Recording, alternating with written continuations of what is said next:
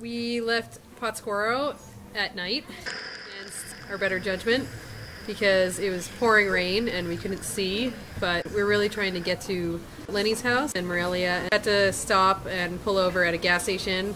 A biker gang rolled up. They were called Los Lobos. The leader of the pack. he referred to himself as Lobo. He was in love with Andrea. He really liked me, like a lot. he told you he loved you when we left. He bought me a beer actually. Aw. Yeah, he liked her so much that he put our sticker on his bike.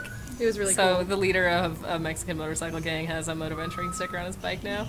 They were trying to convince us to go to Morelia despite the fact that we couldn't see. There was a big biker party there. People from all over the area were going to Morelia, and they were all way more hardcore than us. We decided to go and crash at this little auto hotel. The four of us got to split this baller room for like 20 bucks or something with this great portal where you can watch your friend shower. The next morning, my bike had strange puddles underneath it. I tried to start the bike and it wouldn't start, and Andrea's like, I know exactly what that is because she's been telling me forever that the stock petcock fails and that causes it to drip and flood into your carburetor and fill your engine with gas. causing hydrolock. If you have a DRZ and you have a stock petcock, you should go out to your garage, just grab it off the bike, you can unbolt it, and just rip it off and throw it in the garbage. And then buy a Pingel. Yeah, I don't work for Pingel. She's not a paid spokeswoman, but Pingel, if you're listening, she would like to be. Ask more gas. If you have this problem and your bike does this, the only cure is to do an oil change. Now, every time we stop, Becky needs to unhook her fuel line.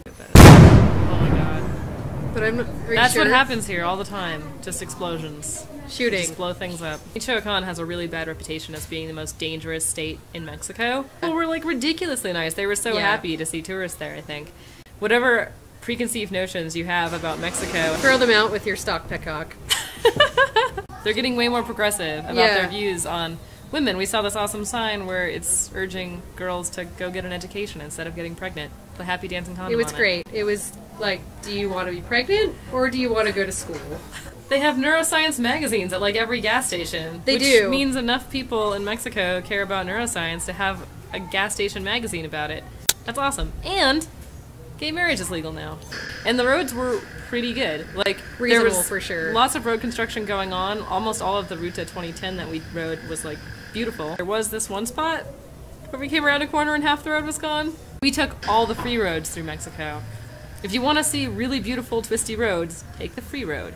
Yeah, It's don't take the toll road. It's beautiful. But you go through all these little towns and all the food and lodging is going to be way cheaper than if you go on the paid road. Then you can eat more tacos. And you didn't have to pay for it.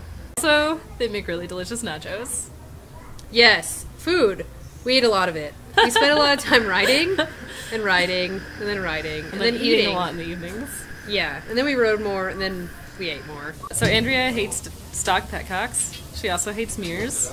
I only hate them because my bike gets tired when it goes in the sand, like a lot, and the mirrors break off. Decided that Andrea needed mirrors before she and Ashley got run over. And we found some awesome scooter mirrors. We also found a Christmas tree orchard. After winding through all of the beautiful scenery of Michoacan, we finally arrived in Oaxaca. Waka!